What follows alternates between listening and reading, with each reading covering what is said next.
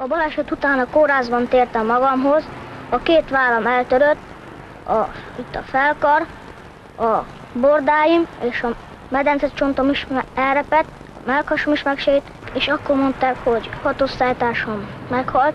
A 40 éve történt szárazréti vonat baleset egyik túlélője beszél ebben az 1982-es oktatófilmben a történtekről. 1982. szeptember 9-én egy csütörtöki napon 16 ember halt meg, amikor a Komárom irányából közlekedő vonat ütközött a 37-es helyi járatos autóbusszal. Az áldozatok között 8 gyermek is volt, köztük egy 9 hónapos csecsemő, aki 21 éves édesanyjával együtt halt meg a balesetben. A szárazréti tragédiáról azóta minden évben megemlékeznek. A szervező Kétyi József az akkor 29 éves feleségét veszítette el a tragédiában.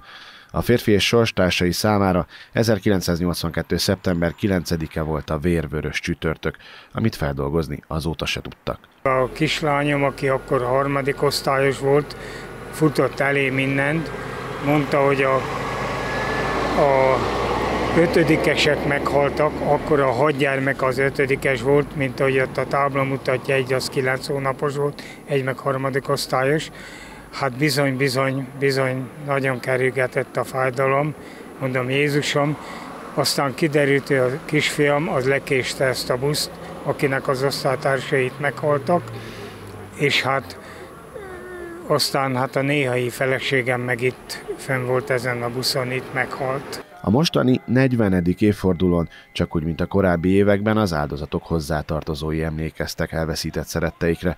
A megemlékezésen ott voltak a Vörös Marti iskola tanára is, köztük az elhunyt gyermekek volt osztályfőnöke és az a pedagógus is, aki az utolsó órát tartotta az iskolásoknak, mielőtt felszálltak volna a 37-es buszra. A megemlékezésen Kéti József arra kérte a résztvevőket, hogy saját tragédiájukon túl emlékezzenek más helyszíneken bekövetkezett vasúti balesetek áldozatairól is.